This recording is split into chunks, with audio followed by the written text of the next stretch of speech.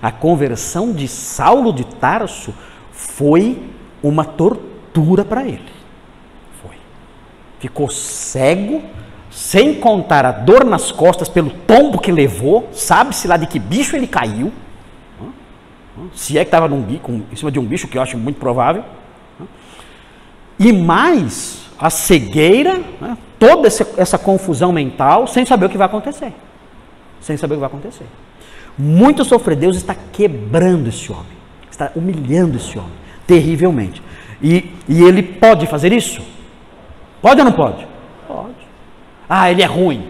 Reclame com ele. Ele faz o que ele quer. Ele faz o que ele quer conosco. Se ele quiser quebrar alguém, ele quebra. Não tem, não tem teologia de açúcar é, colorizado com corante cor-de-rosa.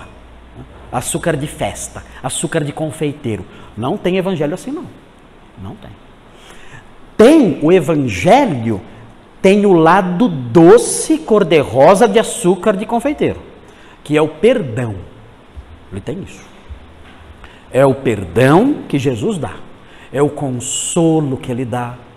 Tudo isso nós temos. Isso é maravilhoso. Jesus está conosco, Ele está conosco, nosso amigo. Ele disse: Olha, eu nunca vou deixar você, nunca.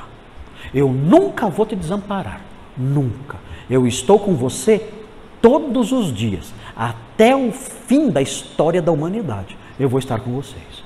Vocês são meus amigos.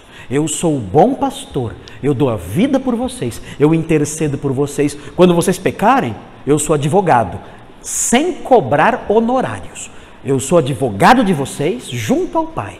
Eu intercedo por vocês junto ao Pai. Eu estou com vocês, eu velo por vocês, eu cuido de vocês, eu consolo vocês, eu concedo dons a vocês, eu concedo o Espírito Santo a vocês. Tudo isso, eu sou amigo de vocês. Esse é o lado doce da teologia cristã.